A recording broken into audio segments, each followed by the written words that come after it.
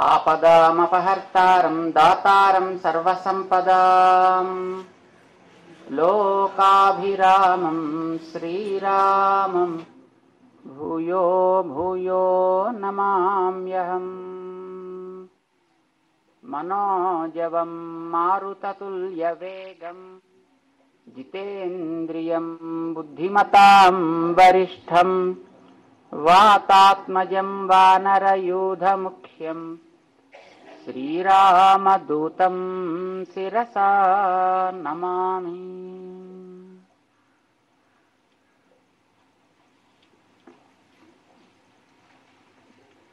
ప్రియ భగవద్బంధువులారా శాస్త్రాల్లో మనిషికి ఈ జన్మ పరంపర రావటానికి కారణం అనాదిగా వస్తుండే కర్మ యొక్క సంబంధము అని తెలుస్తుంది. చాలామంది భగవంతుడు ఇలా ఎందుకు సృజించాడు అని ప్రశ్న వేస్తుంటారు అది అంత తగినటువంటి ప్రశ్న కాదు. సృజించడం అనేటటువంటిది భగవంతుడు కేవలం ఏదో పక్షపాతంతోటో లేక ఎవరి మీదైనా నిర్దయ కలిగి ఉండో చేసేటటువంటి కార్యం కాదు. భగవంతుడు దీన్ని కేవలం ఈ జీవుడు సంగ్రహించి ఉంచుకున్న కర్మని బట్టే జరిపిస్తూ ఉంటాడు దాన్ని బట్టే శరీరాలను కూడా ఇస్తాడు. కర్మ ఏది గతంలో వీడు చేసి ఉన్నాడో ఆ కర్మ అనుభవానికి ఏ చోట ఏ దేహం ఎలాంటి దేహం యోగ్యమవుతుంది అని తను భావిస్తాడో ఈ జీవుడు అక్కడికి వెళ్ళేట్టుగా చేస్తాడు. ఆ వెళ్ళించడం తను చేయగలిగిన పని. కానీ ఏది ఇవ్వాలి అనేది తన చాయిస్ కాదు.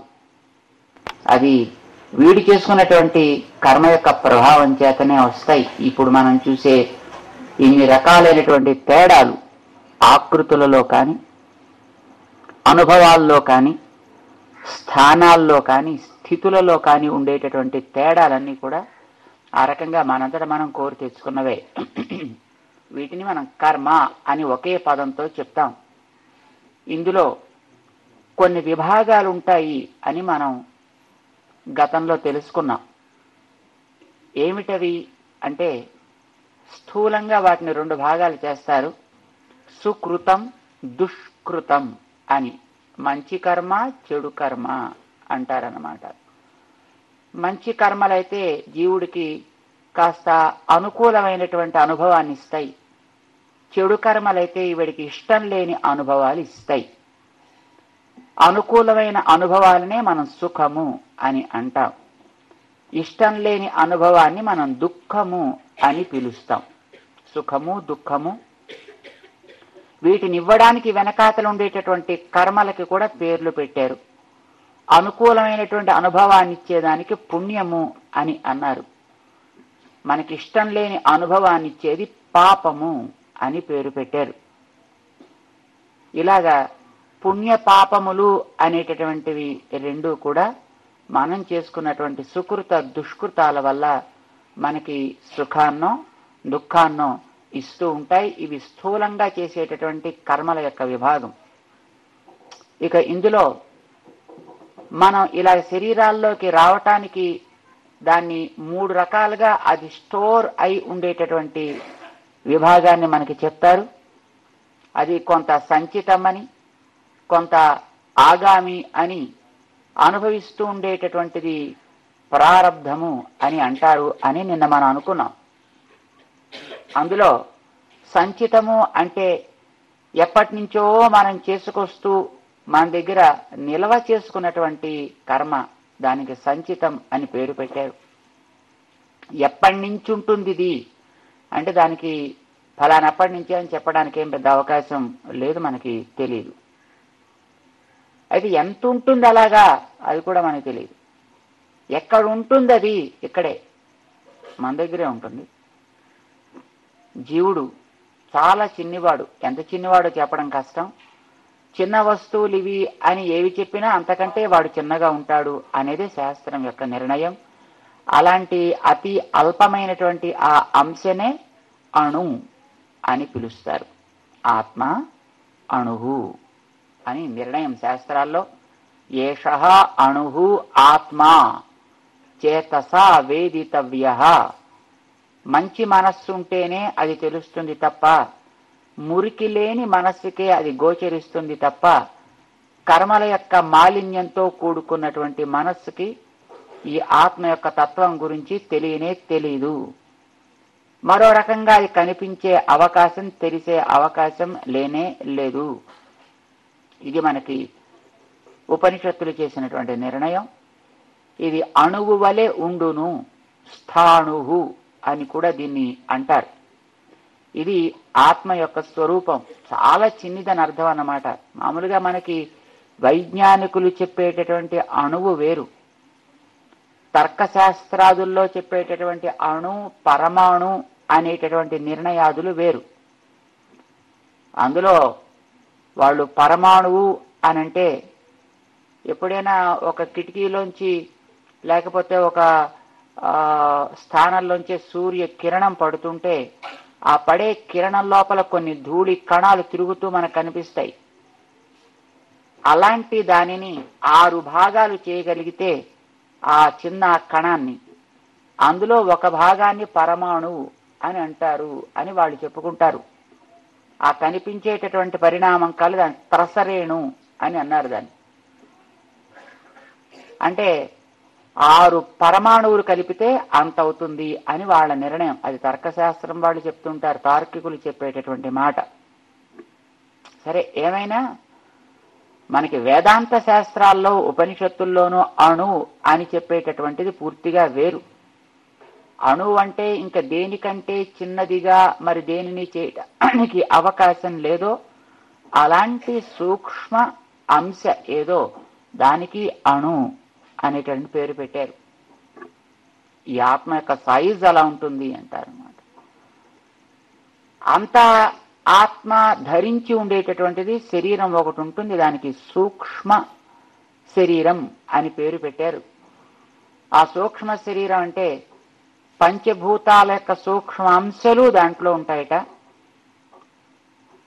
వాటితో పాటు జ్ఞానేంద్రియాలు ఐదు ఉంటాయట. మనస్సు ఉంటుందట. ఈ మూడింటిని తను ఒక చిన్న శరీరంలా చేసుకుని ఆత్మ దాంట్లో ఉంటుంది. పరమాత్మ ఆ ఆత్మని ఈ శరీరంతో పాటు ఒక్కొక్క ఒక్కొక్క చోటికి తీసుకువెడతాడు అనే పదిహేనవ అధ్యాయం భగవద్గీతలో మనకి తెలియచేస్తోంది. శరీరం యదవాప్నోతి ఇచ్ఛాప్యుత్క్రామతీశ్వర గృహీత్వైతాని సంయాతి వాయుర్గంధాని వాసయాత్ వీటిని తీసుకుని ఇది ఒక చోట నుంచి మరొక చోటికి ప్రయాణం అనేటటువంటిది సాగుతూ ఉంటుంది. ఒక ఊరు నుంచి మరొక ఊరికి ఎప్పుడైనా ఉద్యోగం చేసుకునే వ్యక్తి ట్రాన్స్ఫర్ అయి వెడితే ఆ వెళ్ళేటప్పుడు ఈ ఊళ్ళో ఉండే తన బ్యాంక్ అకౌంట్స్ లాంటివన్నిటిని ఒక పాస్బుక్ కిందో చెక్ బుక్ కిందో లేకపోతే ఒక డబ్బులు ఇచ్చే బ్యాంక్ కార్డ్స్ వస్తున్నాయి ఇప్పుడు ఈ మధ్యన మనకి. ఏటీఎం కార్డ్స్ లాంటివో ఏవో. అయితే ఏదో క్రెడిట్ కార్డ్స్ లాంటివో అలాంటి ఒక కార్డు లాగా దాన్ని ఆ కార్డ్స్ జేబులో పెట్టుకుని వెళ్ళిపోతుంది ఆ బ్యాంకులో డబ్బంతా వాడి దగ్గర ఉన్నట్టే కదా. ఆ చెక్ బుక్ వాడి జేబులో పెట్టుకు పెడితే ఆ బ్యాంకు డబ్బంతా తన దగ్గర ఉన్నట్టే కదా. ఎక్కడున్నా దాన్ని ఆపరేట్ చేసుకోవచ్చు. అట్లా ఈ జీవుడు తను ఈ ఒక శరీరంలోంచి బయటికి వెళ్ళిపోయేటప్పుడు ఈ జ్ఞానేంద్రియాల్ని మనస్సుని పంచభూత సూక్ష్మాల్ని తనతో పెట్టుకుని వాడు పెడుతూ ఉంటాడు. వీటికే సూక్ష్మ శరీరము అని పేరు పెట్టారు. ఈ జీవుడు ఆ సూక్ష్మ శరీరంలో ఉంటాడు. ఆ శరీరంతో పాటు తను తిరుగుతూ ఉంటాడు. ఈ ప్రకృతిలో ఎప్పటి నుంచి వీడు ప్రవేశించాడో మనకైతే తెలియదు. దాన్ని చెప్పడం కష్టం. కానీ ఆవేళ నుంచి ఇప్పటిదాకా కూడా ఆ మొదట వచ్చినటువంటి జ్ఞానేంద్రియాలు మనస్సు అవి వీడితోటి నిరంతరం ఉంటున్నాయి. అందుకే అవి వీడికి బెస్ట్ ఫ్రెండ్స్ అవి. వీడికి ఉండేటటువంటి ఇతరమైన సంస్కారాలు చుట్టూ ఉండే వాతావరణాలు ఇవి ఎంత ప్రభావం చూపిస్తున్నా వాటిని కొంతవరకు వీడు యాక్సెప్ట్ చేయగలుగుతాడు. ఎందుకంటే వీడితో ఇప్పుడు నిరంతరం ఉండేటువంటి ఫ్రెండ్స్ లోపలే ఉన్నాయి వీడికి. అంచేత వాటి ప్రభావానికే తను ఎక్కువగా లొంగి ఉంటాడు తప్ప బయట ఉండేవి ఏవైనా దూరంవే కదా.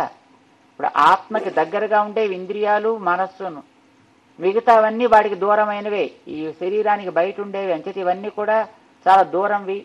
అనే వీటి ప్రభావం వాడి మీద కొంచెం తక్కువ ఉంటుంది. లోపల వాటి ప్రభావం ఎక్కువ ఉంటుంది కనుక ఆ లోపల ఉండేటిన ఇంద్రియాలు మనస్సు కూడా ప్రాచీన కర్మల రికార్డ్స్ తమతో పాటు పెట్టుకునే ఉంటాయి. మరి ఇన్ని రికార్డ్స్ ఉంటే వీడికి తెలియద్దండి. అది ఎంతైనా కనిపించద్దా సైజులోనంటే కనిపించదు. అంతా సాఫ్ట్వేర్ ఫామ్లో ఉంటాయి.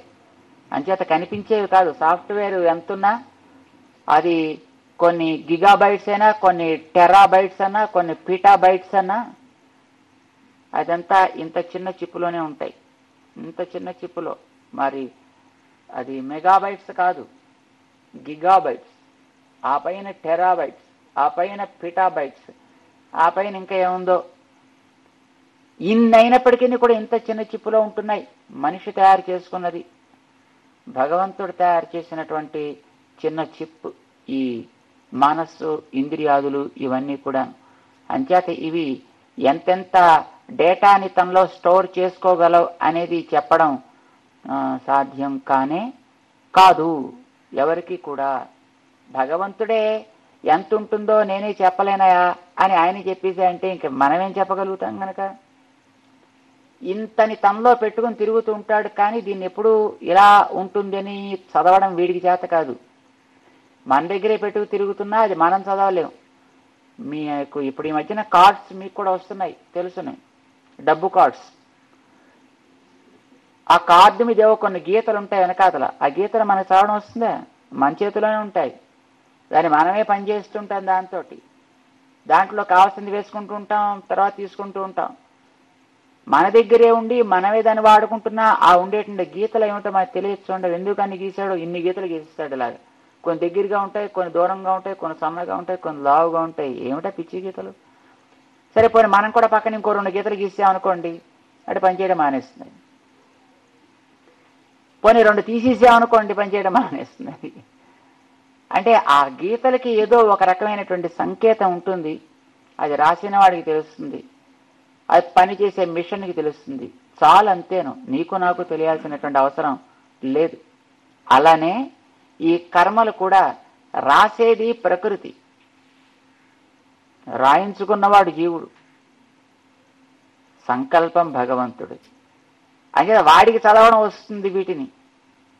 ప్రకృతికి వస్తుంది కానీ దానికి జ్ఞానం లేదు కనుక దానికి చదవడం వచ్చినా రాకుండా ఒకటే. ఒకటే.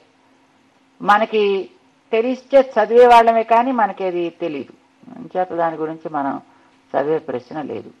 ఇవి మనలో ఉండేటువంటి ప్రాచీన కర్మ సంస్కారాలు అన్నమాట అలాగా కొన్ని కోట్ల కోట్ల జన్మల నుంచి స్టాక్ అయినవి కూడా మన దగ్గర ఇక్కడే ఇప్పుడు ఉంటాయి అయితే చాలా గొప్ప యోగం లాంటివన్నీ చాలా చేసినటువంటి వాళ్ళకి ఏదో కొన్ని జన్మల దాకా ఇటు అటు వెళ్ళడానికి అవకాశం ఉంది అని మన పెద్దవాళ్ళు చెప్తుంటారు. ఏదో సుమారు ఒక పది నుంచి ఓ- ఇరవై జన్మల దాకా కూడా వెనక్కి వెళ్ళొచ్చట. వెళ్ళి చదవచ్చట. వీడేం చేసేవాడు? ఆ జన్మలో ఆ జన్మలో ఆ జన్మలో. అలాగే రాబోయే జన్మలు కూడా కొంతవరకు చెప్పవచ్చును అని చాలా దీర్ఘమైనటువంటి యోగాభ్యాసం కలిగిన వాళ్ళు మాత్రం అలాగా కొంతవరకు ఇటు అటు వెళ్ళగలుగుతారు తప్ప అది దాటి ఆవలికి వెళ్ళడం అనేటటువంటిది ఎవరికీ శక్యం కానే కాదు ఒక పరమాత్మకి తప్ప. అందుకోసమనే ఆయన నాలుగవ అధ్యాయంలో తాన్యహం వేద సర్వాణి నత్వం వేత్త పరంతప.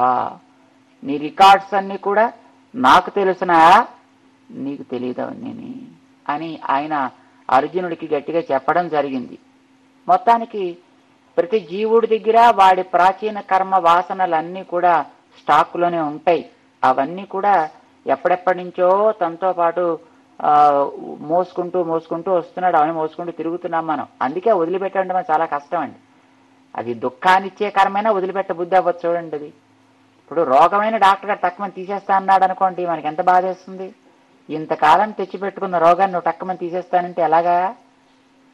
ఇంకా కొంతకాలం మనతో పాటు అట్టు పెట్టుకుంటేనే బాగుండని ఉంటుంది. మరి దాని మీద మనకి ఉండేటువంటి సహవాసం ప్రేమ. సో ఇలాంటివి ఎంతో కాలంగా మనతోటి ఉండేటటువంటి కర్మలని సంచిత కర్మలు అని వాడికి పేరు పెట్టారు. ఇలాంటి సంచిత కర్మల్లోంచి ఒక శరీరం అయిపోయిన తర్వాత మరొక శరీరాన్ని నువ్వు తీసుకోవడానికి ముందు భగవంతుడు కొంత పోర్షన్ తీసి అలాట్ చేసి పెడతాడు అందులో ఇది నీకు ఈ శరీరానికి తగును అని. అది ఒక పెద్ద పెద్ద సముద్రంలా ఉంటుంది కాబోలు అని అనుకుందాం ఊహించుకుందాం. మన ప్రాచీన కర్మంతా ఓ సముద్రం అంతా అయితే ఒక సముద్రం చాలదు. అనేక సముద్రాలు. మనకి భూమి మీద ఉండేది మొత్తం అంతా ఒకటే సముద్రం. అందుకంటే ఇక్కడ లేదు కదా.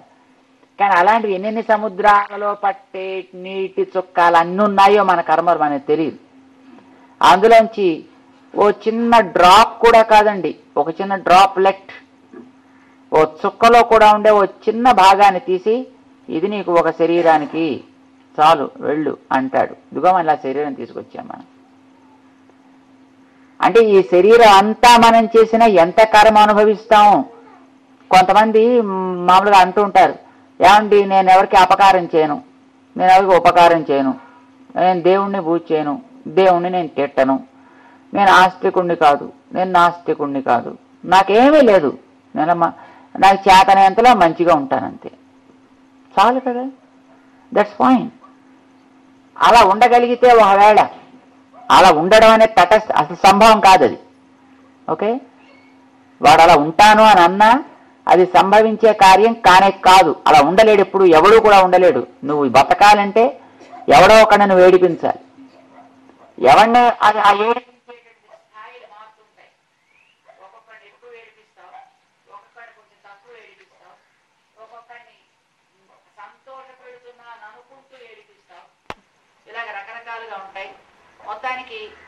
ఎవడిదో ఒకడిదో నువ్వు తీసుకుని తినక తప్పదు. ప్రకృతిలో ఉండేటటువంటి దాన్ని నువ్వు అనుభవించక తప్పదు. So it's a sort of exploitation కాదు? అయితే ఒక్కొక్కడు ఎక్కువ ఎక్స్ప్లాయిట్ చేస్తాడు ఒక్కొక్కడు తక్కువ ఎక్స్ప్లాయిట్ చేస్తాడు. ఒక్కొక్కడు తనది మాత్రమే ఎక్స్ప్లాయిట్ చేసుకుంటాడు ఒక్కొక్కడు ఇతరులది కూడా ఎక్స్ప్లాయిట్ చేసేస్తాడు. ఒక్కొక్కడు ఇంకెవరిని తన చుట్టూ ఉండేవాడిని తిననే తిననివ్వడు గడ్డి వామ పక్కన ఉండే కుక్కలాగా. వాడు తిండు నేను కుక్కగా తినడానికి పనికిరాదు. ఇంకో దాని దేన్ని అక్కడ దగ్గర రానివ్వదు.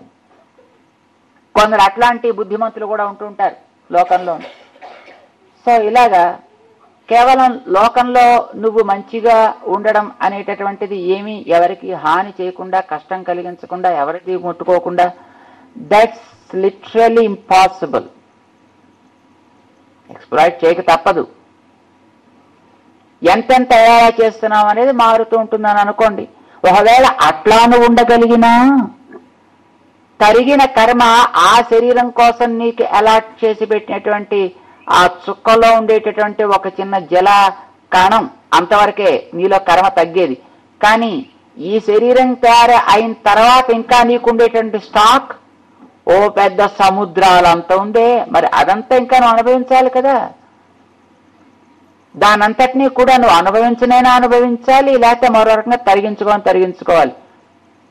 శాస్త్రాల్లో కృతం కర్మ శుభ అశుభం అవశ్యం అనుభోక్తవ్యం.